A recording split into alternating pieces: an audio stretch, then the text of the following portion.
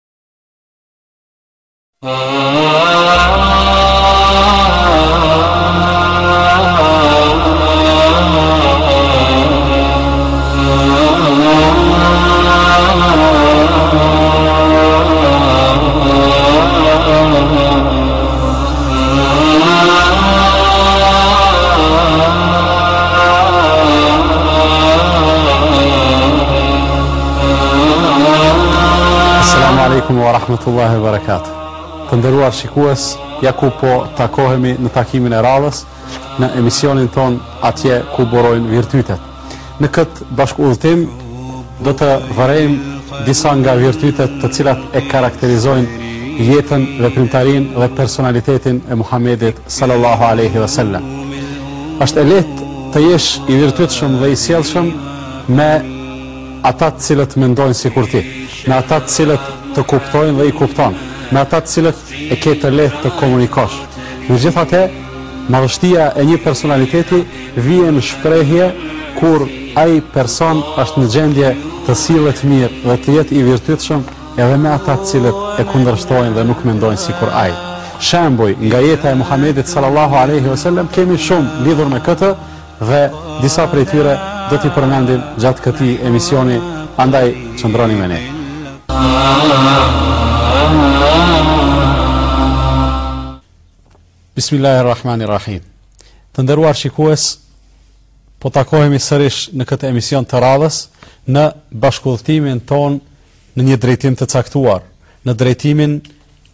e burimit të virtyteve, të njihemi për së afërmi me personalitetin e Muhamedit sallallahu alaihi wasallam, i cili ishte shumëdimensional dhe i cili vërtet me qëndrimet e tij, me gjestet e tij, me udhëzimet dhe veprat e tija, dha shembull se ai kishte arritur piedestalin dhe maksimumin e mirësjelljes, maksimumin e vetëmohimit.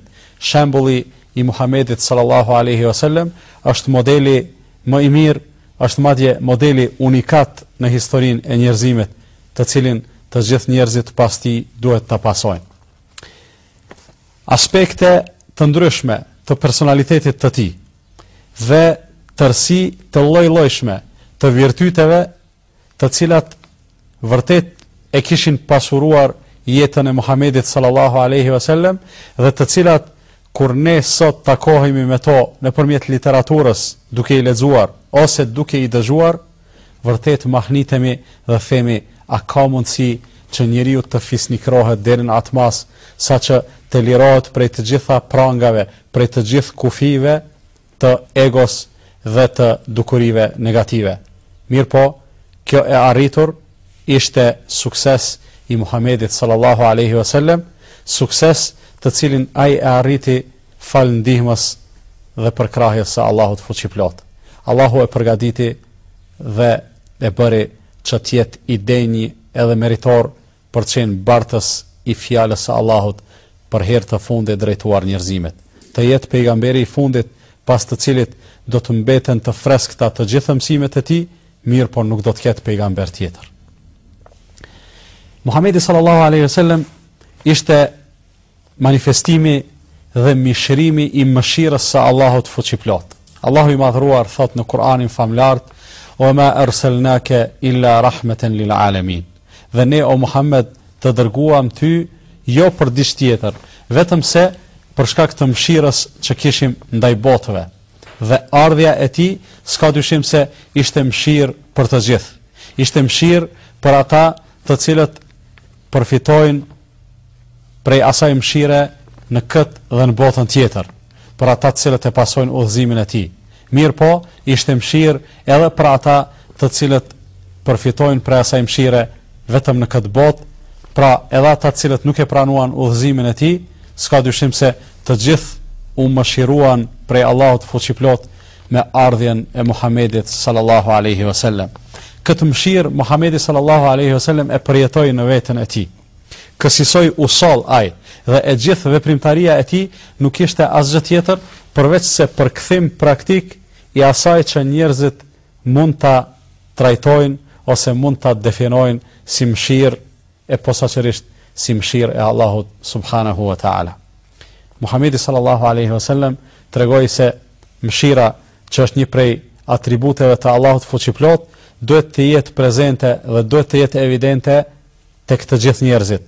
Të gjithë duhet të trajtohen ndërmjet vete, të gjithë duhet t'i ngrisin raportet dhe marrëdhëniet e tyre ndërmjet vete mbi konceptin e mëshirës. Lidhur me këtë, thotë Muhamedi alayhi salatu wasalam, La yerhamullahu men la yerhamin nas. Allahu nuk e mëshiron atë i cili nuk i mëshiron njerëzit. Do të thotë një njeri i cili nuk sillet butë me të tjerët, i cili nuk niset nga pikënisja e mëshirës në trajtimin që u bën të tjerëve, Ai të mos presë mëshirë prej Allahut. Allahu do ta trajtojë atë me të njëjtën mënyrë, me të njëjtën vrazhdësi që ky i ka trajtuar njerëzit apo krijesat e Allahut fuqiplotë. Them njerëzit apo krijesat e Allahut duke e pasur parasysh se Islami e promovoi këtë mëshirë, jo vetëm që njerëzit të mëshirohen ndërmjet vete, mirëpo gjithnjë Mëshira vjen në shprehje nga i forti karshi të dobëtit, nga atij që ka mundësi karshi atij që ka nevojë dhe kjo vjen në shprehje në mes njerëzve kur janë në pyetje kategori të ndryshme, disa më të larta e disa më të ulëta, por vjen në shprehje edhe në mes krijesave tjera, në mes njeriut dhe gjallesave, qofshin ato kafshë, insekte apo diçka tjetër. Lidhur me këtë, ka thënë Muhamedi sallallahu alaihi wasallam, kur është pyetur se a thua edhe për gjallesat tjera dhe për botën shtazore do të shpërblehemi nëse sillemi me bamirësi dhe humanizëm, Muhamedi sallallahu alaihi wasallam tha, fi kulli dhati kebidin ratbatin exhr. Në çdo gjallesë që ka mëlqi të freskët, ka shpërblim njeriu. Muhamedi sallallahu alaihi wasallam ishte kulminacioni i mëshirës njerëzore. Ishte kulminacioni i njeriut i cili vërtet jo vetëm që di të sillet butë dhe mëshirshëm, mirëpo ishte kulminacioni i njeriut i cili dha shembull se ishte në gjendje ta dëmtojë veten e vet, ta privojë veten nga nga rehatia dhe nga mirëqenia për të mirën e përgjithshme. Madje ishte e nevojshme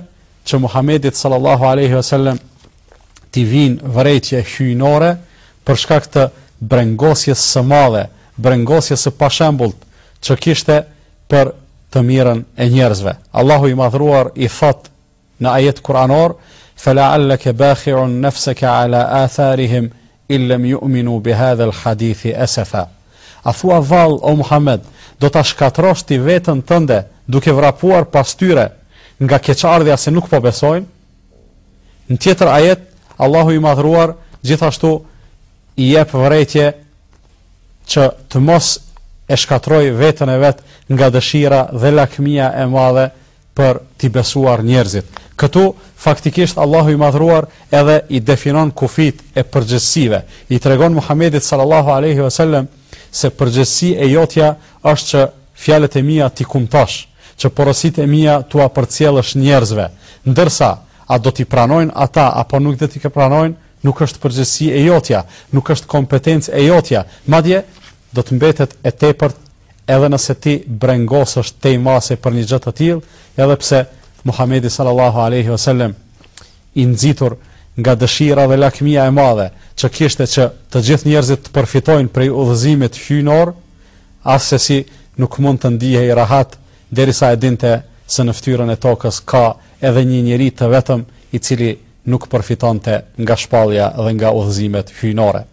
Për këtë arsye, sa herë që i dëgjonte njerëzit duke folur për të tjerët, duke folur për jobesimtarët, duke fol për ata të cilët e kundërshtonin fjalën e Allahut dhe njerëzit nganjëherë të nxitur nga entuziazmi dhe euforia ishin në gjendje të bënin edhe komente negative, të përcjella ndonjëherë edhe me ofendime ose me mallkime, Muhamedi sallallahu alejhi ve sellem ua tërhiqte vërejtjen, Mos mallkoni, mos shani, mos ofendoni, për arsye se mua Allahu nuk më ka dërguar dhe nuk më ka zgjedhur që t'i mallkoj njerëzit, por më ka dërguar mëshirë për ta. E mëshira nuk manifestohet me mallkime, nuk manifestohet me ofendime, nuk realizohet me vrazhdësi dhe me sjellje të këqija, Mëshira manifestohet vetëm duke u sjellur butë dhe ashtu si na ka mësuar Allahu fuqiplotë dhe ashtu si na ka mësuar praktikisht Muhamedi sallallahu alaihi wasallam duke dhënë shembull me jetën dhe veprimtarinë e tij. Muhamedi alaihi salatu wasallam ishte i ktill, i butë dhe i mëshirshëm. Madje ishte edhe shumë tolerant dhe zemërgjerë ndaj të gjithëve. Ky virtyt, nëse vjen në shprehje karshi njerëzve të cilët mendojnë njëjtë, karshi një ngjyre të caktuar të njerëzve, atëherë edhe vlera e tij nuk vjen në shprehje shumë. Mirëpo, vlera e këtij virtyti, del në shesh në ato momente kur kemi përplasje mendimesh, kur kemi përplasje dhe divergjenca qëndrimesh, kur vijnë njerëzit të cilët nuk mendojnë njëjtë sikur ne, dhe aty duhet të vijë në shprehje mirëkuptimi, duhet të vijë në shprehje toleranca, duhet të vijë në shprehje butësia, mshira dhe mshiria e kështu me radhë. Njëherë, një njeri erdhi te Muhamedi sallallahu aleyhi wasallam dhe kërkoi prej tij që t'ia legalizojë zinanë apo imoralitetin. Në të vërtetë, kërkesa e këtij njeriu ishte e palogjikshme dhe e papranueshme për disa arsye. Arsyeja bazë ishte se një gjë që është definuar një herë Sipas ligjeve të Allahut, si dukuri negative, si e keqe, ajo vazhdon gjithnjë të mbetet e këtillë dhe nuk ka mundësi të ndryshojë për qejfin dhe andjen e askujt. Dhe gabimi tjetër që bëri ky njeri ishte se kërkoi legalizim për një gjë prej njeriut i cili nuk ishte ky që e bëri atë jo legjitime. Nuk ishte Muhamedi sallallahu alaihi wasallam ai i cili i definon gjërat si të lejuara apo të ndaluara. Ai është vetëm komunikues. Ai është vetëm përcjellës i asaj që e ka mësuar Allahu subhanahu wa taala. Ndërsa kufizimet dhe definimet e hallallit dhe haramit janë ekskluzivisht në dorën dhe kompetencën e Allahut fuqiplotë. Megjithatë, edhe pse njeriu erdhi me një kërkesë shumë të papranueshme, Muhamedi sallallahu alaihi wasallam pati zemërgjerësi, pati durim dhe mirësi dhe tolerancë që të komunikojë me këtë njeri. Ai filloi të komunikojë me të nga një kënd shumë i rëndësishëm, këndi i bindjeve logjike. Ai iu drejtua këtij njeriu dhe i tha: Ti që kërkon që në mënyrë të pakufizuar dhe të palimituar të kesh kontakte intime me gratë e huaja, a do të pajtoheshe sikur dikush të bënte të njëjtën gjë me nënën tënde? Ky njeriu u përgjigj, asesi jo, si ka mundësi të pajtohem që dikush nënën time ta trajtojë në atë formë dhe ta keqpërdor në atë formë, tha kësisoj edhe njerëzit nuk pajtohen që të bëhet imoralitet me nënat e tyre. Pastaj e pyeti, a pajtohesh që dikush të bëjë atë që ti po kërkon të bësh me gruan tënde? Tha asesi jo. Tha kësisoj edhe njerëzit nuk pajtohen që, që ti të bësh imoralitet me gratë e tyre. Pastaj ja përmendi motrën, hallën, tezen, bijën e kështu me radhë. Me këtë ia mbushi mendjen Muhamedi sallallahu alaihi wasallam atij njeriu se kërkesa e tij ishte shumë gabim dhe ky nuk ishte i vetëdijshëm se çfarë ishte duke kërkuar. Ajo që ky kërkonte, ngase i dukej gjë e mirë, në të vërtetë ishte Vetë shkatërrimi, ishte shkatërrimi personal për te, edhe për ata me të cilët do të kishte marrëdhënie të këtilla, por ishte gjithashtu edhe shkatërrimi për shoqërinë ku jetonin. Pas kësaj, Muhamedi sallallahu alaihi wasallam ia ja vendosi dorën e djathtë në gjoks dhe bëri dua për atë njeri. Tha o Zot, falja mëkatet dhe tejkaloja ato këtij njeriu dhe pastroje prej këtij mëkati e udhëzoje kah e mbara. Transmetohet se si pasojë e asaj lutje, asaj duaje, ky njeri më kurrnjëherë nuk i ka shkuar mendja të bëjë diçka të keqe me gratë e huaja. Kurrnjëherë nuk është kthyer ka ato. Muhamedi sallallahu alaihi wasallam ishte shumë tolerant dhe shumë zemërgjerë edhe me njerëzit të cilët krahas faktit se ishin në pozitë më të ultë se ai, ishin në pozicion për të qenë shumë më të sjellshëm, shumë më modestë, megjithatë, ata i i tejkalonin kufijtë e mirësjelljes. Do të thotë, Muhamedi sallallahu alaihi wasallam, edhe pse ishte në pozitë të lartë, dikush ishte në pozitë më të ultë se ai, ky e kuptonte edhe gabimin e tij dhe ishte në gjendje që ta ndjente dhe ta tejkalonte atë gabim. Një herë erdhi një beduin i varfër dhe kërkoi lypi nga Muhamedi sallallahu alejhi wasallam t'i japë diçka. Dhe Muhamedi sallallahu alejhi wasallam me mundësitë që kishte i ofroi diçka. Pastaj e pyeti: "A u kënaqe? A të, a të bëra mirë? A u bëra bëmirës ndaj teje?" Ai u përgjigj: "Pasha Allahun jo." As nuk veprove mirë, as nuk bëre bukur. Shokët e Muhamedit sallallahu alaihi wasallam u hidhruan dhe u mllefosën shumë për shkak të kësaj sjellje arrogante, për shkak të kësaj sjellje mos mirënjohëse. Megjithatë, Muhamedi sallallahu alaihi wasallam u dha shenjë atyre, pushoni, mos ndërmerrni asgjë, mos flisni asgjë, nuk është punë e juaja të merreni me këtë njeri, përderisa unë jam duke komunikuar me të. Pastaj e thirri në shtëpinë e vet. E gostiti në shtëpi me ato mundësi që kishte dhe i dha akoma diçka tjetër, atëherë e pyeti, a isha bëmirës ndaj teje? I tha, po, tash ke vepruar mirë dhe bukur, Allahu të shpërbleftë si është më së miri. Muhamedi sallallahu alaihi wasallam arriti që ta kënaqë këtë njeri edhe pse kënaqësia e tij e kishte një kosto. Megjithatë, ky ishte synimi i tij, t'i bëjë njerëzit të ndihen mirë në afërsinë e tij. Megjithatë, mbeti edhe një problem. Problemi ishte se shokët që mbetën jashtë akoma nuk e dinin se si rrodhi situata, se si u përmirësua situata dhe si ky njeri tashmë ndihet i, i ngopur, i kënaqur dhe është mirënjohës ndaj Muhamedit sallallahu alaihi wasallam. Andaj Muhamedi alaihi salatu wasallam i tha: "A do të jesh në gjendje që kur dalim jashtë këto fjalë që i the tani, t'i thuash edhe në prezencën e shokëve të mi?" Ai tha: "Po." Kur dolën jashtë, Muhamedi sallallahu alaihi wasallam e pyeti edhe një herë në prezencën e të tjerëve, "A të bëra mirë? A të ndihmova?" Ky i tha, "Po, më ke ndihmuar shumë dhe më ke bërë mirë, Allahu të shpërbleftë si është më së miri." Atëherë Muhamedi sallallahu alaihi wasallam, pasi e arriti objektivin e parë, e bëri që njeriu të ndihej i ngopur, të ndihej i nderuar në prezencën e tij. Me një fjalë e pajtoi dhe e kënaqi atë njeri, Pastaj tash deshi të shërojë edhe problemin e reagimit, respektivisht reaksioneve dhe kundërreaksioneve që mund të shkaktojnë veprimet e pamatura të dikujt tek ata që i shohin apo i dëgjojnë ato. U tha Muhamedi sallallahu alejhi ve sellem shokëve të vet. Thotë shembulli im me këtë njeri dhe shembulli juaj është sikurse shembulli i një njeriu i cili e ka një deve. Dhe ajo deveja për një moment trembet dhe i ik prej dorës. Ky vihet në ndjekje të saj për ta zënë dhe për ta kapur, ndërsa ata të tjerët që janë prezent vihen në ndihmë të këtij njeriu. Mirëpo, Duke mos vepruar ashtu si duhet, ata e trembin devën edhe më tepër, saqë këtij i bëhet e pamundshme ta arrijë devën e vet.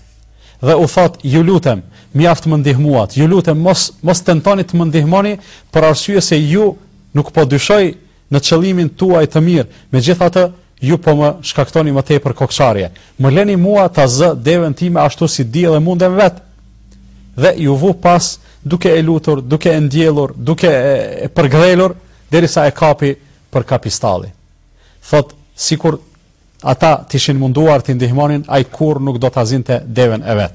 Pastaj iu kthye konkretisht iu tregoi këtyre, thotë edhe shembulli i këtij beduini me sjelljen e tij të pagdhendur, me mosmirënjohjen e tij që tregoi në rastin e parë, sikur ju të reagonit, do të ishte një përfundim i keq edhe për ju, edhe për te. Mirëpo, unë vazhdova me te me bamirësi, derisa, Arrita që ai të ndihej i kënaqur dhe të pajtoher, të pajtohej me atë që i dhashë, saqë e dëgjuat edhe ju vetë se çfarë tha. Muhamedi sallallahu alaihi wasallam ishte aq zemërgjerë dhe aq tolerant saqë kur dikush gabonte e pranonte arsyetimin e tij. Në të vërtetë nuk mund të paramendohet një shoqëri ideale në të cilin do të funksionojnë raportet mes pjesëtarëve të asaj shoqërie në mënyrën më të mirë të mundshme. Ngase njerëzit janë të krijuar të atillë me të meta, bëjnë gabime dhe ato gabime do e mos reflektohen në raportet mes njerëzve. Kur ndodhin këto gjëra, s'ka dyshim se të dy palët, ai që gabon dhe ai ndaj të cilit gabohet, kanë obligime. Ai që gabon ka obligim që ta arsyetojë gabimin e vet ose të kërkojë falje për të. Ndërsa ai ndaj të cilit gabohet ka obligim që të bëhet zemërgjerë dhe ta pranojë tjetrin me gjithë gabimin që ka, të ketë zemërgjerësi dhe tolerancë të mjaftueshme për ta tejkaluar atë situatë të pakëndshme. Muhamedi sallallahu alaihi wasallam me jetën e tij jep shembullin dhe udhëzimin më të mirë se si duhet të veprohet në raste të këtilla.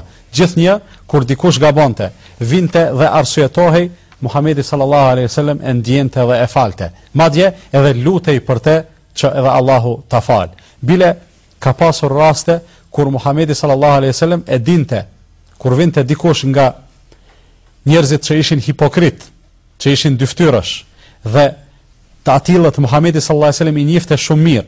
E njifte edhe ato çka ata flisnin se ishte thjesht një justifikim dhe nuk ishte arsye e vërtetë, megjithatë prapë Muhamedi sallallahu alaihi wasallam vepronte me atë që dëgjonte, vepronte duke u bazuar në atë që shihte e nuk vepronte në bazë të asaj që dinte, që do të thotë se i trajtonte njerëzit pozitivisht edhe atëherë kur ndoshta ata nuk e meritonin një gjë të tillë.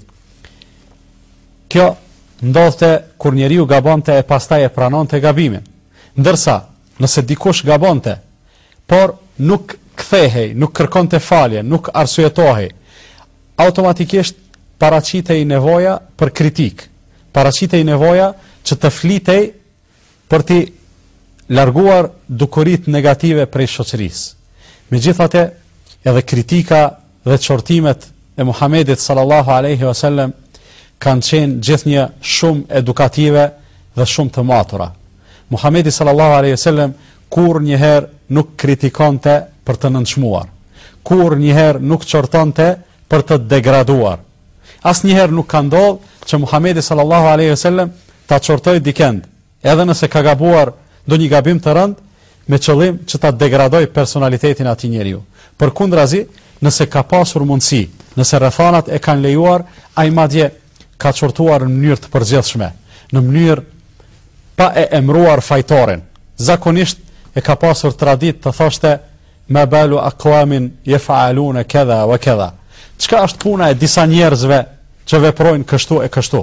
Do të thotë përmendej dukuria, identifikohej mirë, demaskohej mirë, mirëpo kryesi i atij veprimi absolutisht nuk përmendej me emër, në mënyrë që ai të mbetej i mbuluar, të mos poshtrohej dhe turprohej para njerëzve, të mos degradohej në komunitet, Ndërsa dukuria si dukuri të dihej se është e paqëlluar dhe si e këtillë duhet të flaket dhe të menjanohet. Kjo ishte e, metodologia që Muhamedi sallallahu alaihi wasallam e përdorte në luftimin e dukurive negative dhe përmirësimin e sjelljeve të njerëzve. Në përgjithësi ishte shumë modest për veten e tij dhe në asnjë moment nuk dëshironte që kur hynte diku Edhe pse kishte autoritet të pakontestueshëm, edhe pse njerëzit e donin shumë, muslimanët atë e donin më shumë se familjet e veta, më shumë se veten e vet. Por nuk lejonte që kur hynte në një tubim, njerëzit të ngriteshin në këmbë për të. Edhe pse ngritja në këmbë Për njeriun e madh është shprehje e respektit që gjithsesi është manifestim i edukatës, i kulturës, i mirësjelljes. Megjithatë, Muhamedi sallallahu alaihi wasallam insistonte që njerëzit të mos ngriten në këmbë për të, për arsye se ai dëshironte që autoritetin që kishte, respektin që kishin njerëzit për të, të mbetej në kufijtë e të pranueshmes. Gjithnjë interesohej që njerëzit të mos i tejkalojnë kufijtë në respektin ndaj tij, të mos i tejkalojnë kufijtë në glorifikimin e tij, por gjithnjë insistonte që ai të trajtohej dhe të quhej Abdullah, robi i Allahut. Dhe gjithnjë thoshte kulu Abdullahi wa rasuli. Për mua thoni, ai është robi i Allahut dhe i dërguari i tij. Mos më trajtoni ndryshe, mos gaboni sikur kanë gabuar disa të tjerë duke e trajtuar ndonjë pejgamber të Allahut se është i biri i Zotit ose se është vetë Zoti ose se është personifikim i Zotit e kështu me radhë. Përkundrazi, un jam njeri sikur ju, nuk dalloj prej juve në aspektin fizik dhe biologjik asgjë, vetëm se e kam një dallim të vogël, e kam një dallim që nuk është i vogël, ai është se unë jam i dërguar i Allahut dhe kësisoj dua të më trajtoni. Si njeri jam rob i Allahut, ndërsa si pejgamber jam i dërguari i Allahut. Muhamedi sallallahu alaihi wasallam kishte zemërgjërsi dhe tolerancë jo vetëm për ata që i donte dhe e donin, Jo vetëm për ata që bënin pjesë në komunitetin, në bashkësinë e tij. Madje edhe kur vinte dikush prej jashtë, ose kur ishte në pyetje ndonjë kundërshtar, ndonjë armik, ndonjë rob lufte, Muhamedi sallallahu alaihi wasallam sillej me ta me një njerëzi dhe humanizëm të pashoq. Një herë e kishin zënë një rob lufte dhe e sollën te Muhamedi sallallahu alaihi wasallam. Ai prej mirësisë së madhe që kishte, gjithnjë ua paraqiste Islamin, gjithnjë insistonte që ata të udhëzoheshin me udhëzimet e Zotit.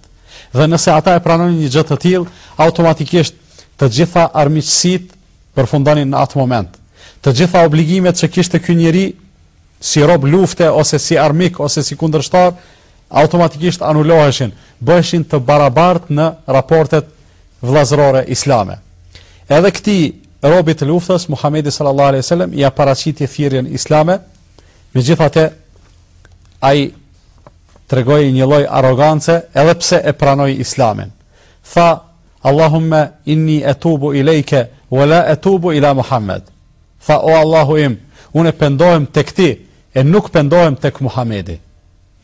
Kjo si shprehje ishte e drejtë, ngase pendimi dhe kthimi jonë është te Allahu dhe nuk është te te njeriu, kushdo qoftë ai, madje edhe Muhamedi sallallahu alaihi wasallam. Domethënë, si shprehje ishte e saktë, mirëpo nuk kishte nevojë të thuhej për arsye se thënia në atë kontekst, edhe në atë rast, ishte me qëllim jo të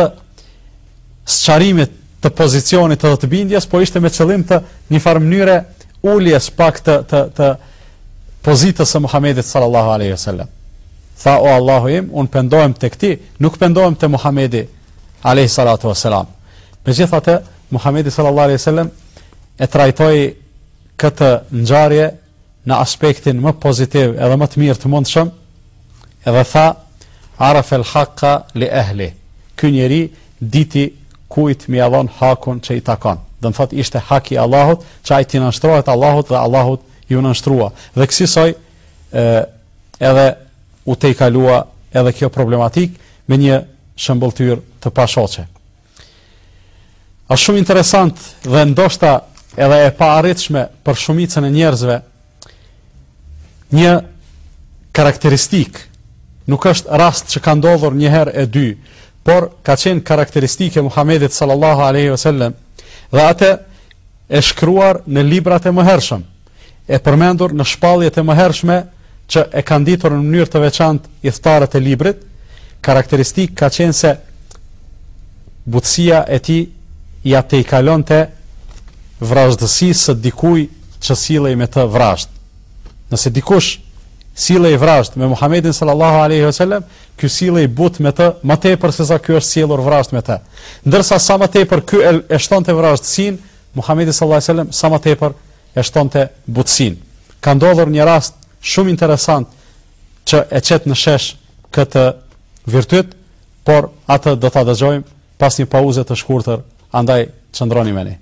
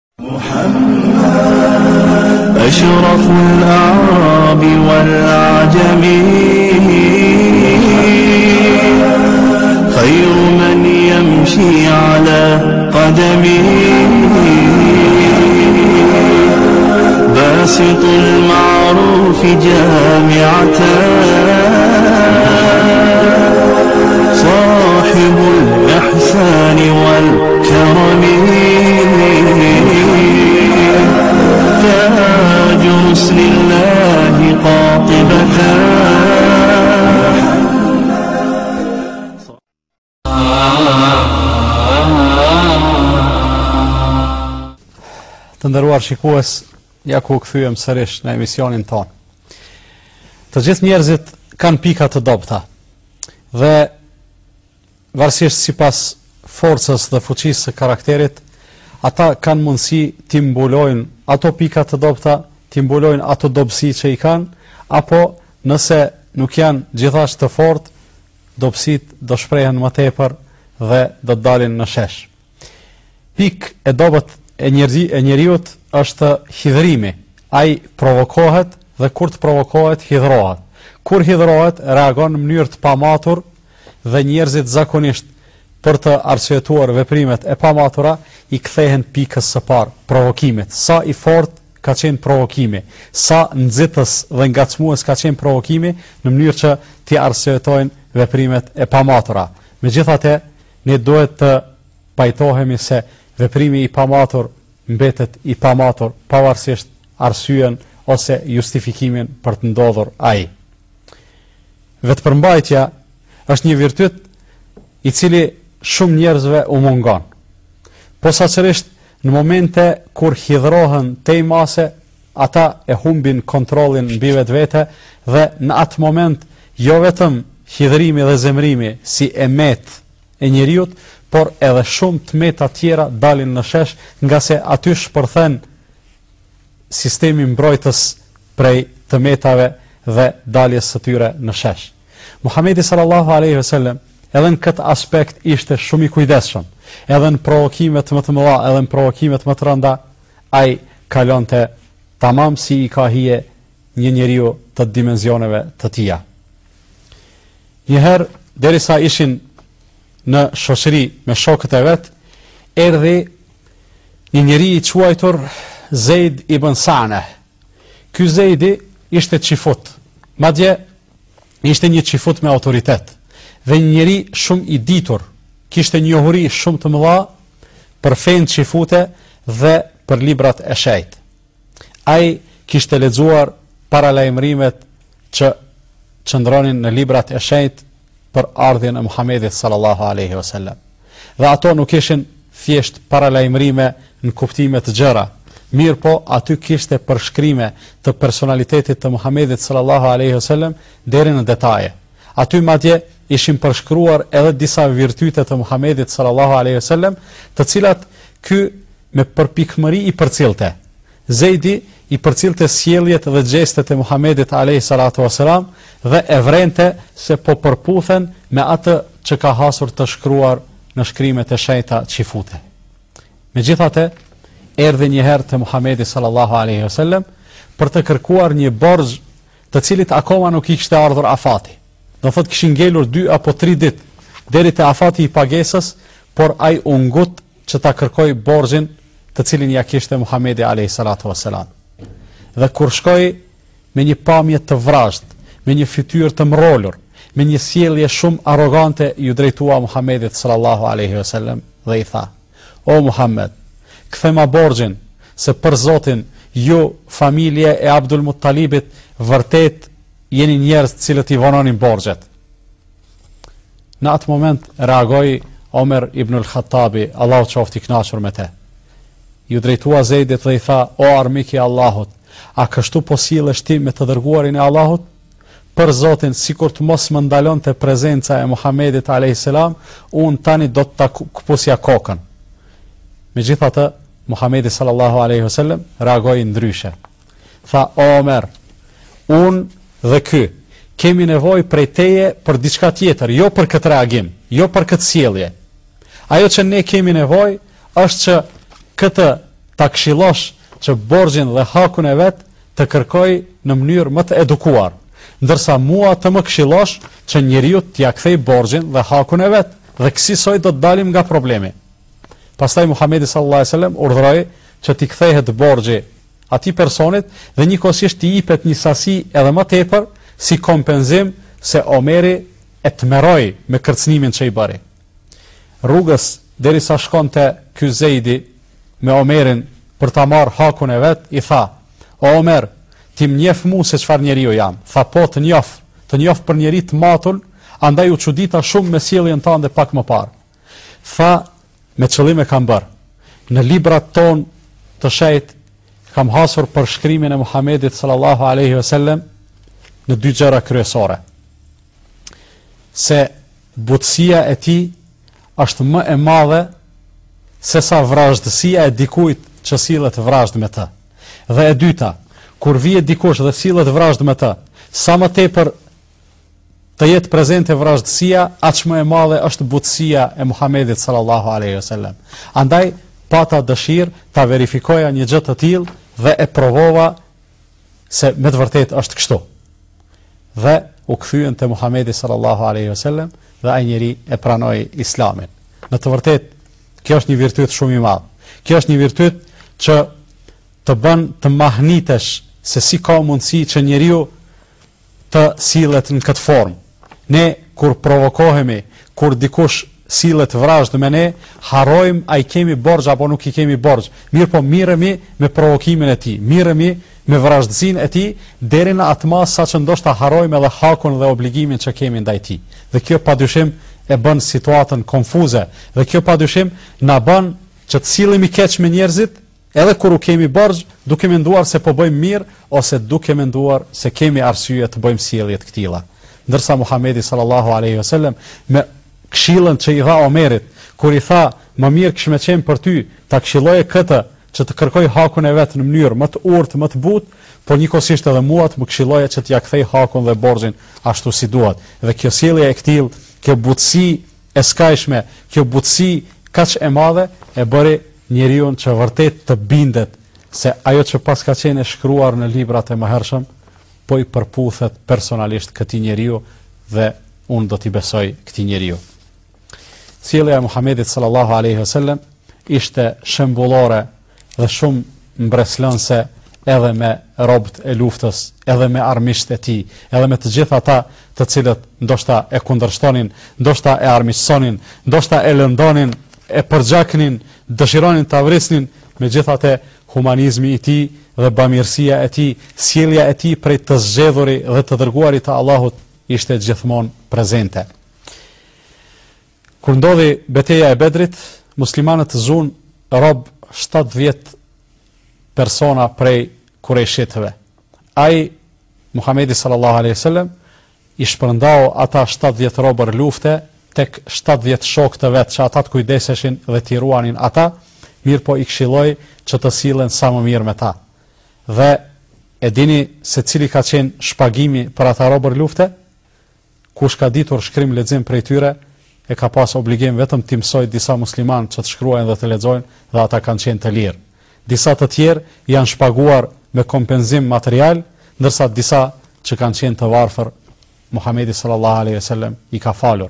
Ashtu sikur i amnestoi të gjithë kundërshtarët e vet përnjëherë, në ditën e çlirimit të Mekës, i tuboi të gjithë kurejshitët, të gjithë ata të cilët deri dje e luftonin, të gjithë ata të cilët ishin në gjendje të shpenzonin çdo gjë dhe të investonin çdo gjë vetëm për ta vrarë dhe për ta hequr qafe Muhamedin sallallahu alaihi wasallam.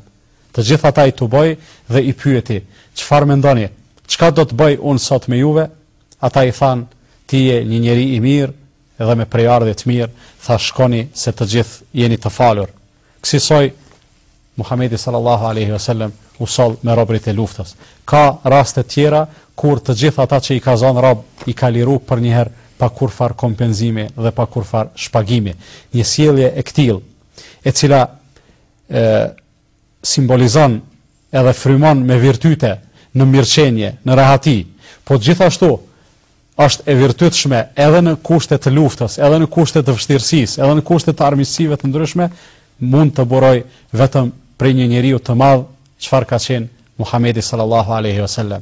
Një sjellje e këtillë është sjellje pejgamberike. Një sjellje e këtillë është sjellje dhe këto virtyte janë virtyte të njeriu të cilin Allahu me të drejtë e zgjodhi që të jetë pejgamberi i tij e pastaj Allahu u kujdes për te, që ai vërtet të bëhet i këtillë. Virtytet e Muhamedit sallallahu alaihi wasallam janë të shumta. Po që se lundrojmë dhe zhytemi në detin e atyre virtyteve, nuk do të ngopemi asnjëherë.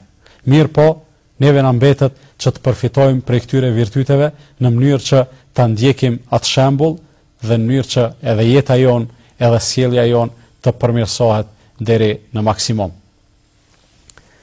Kësaj radhe këtu do të ndalemi për të përfunduar përkohësisht.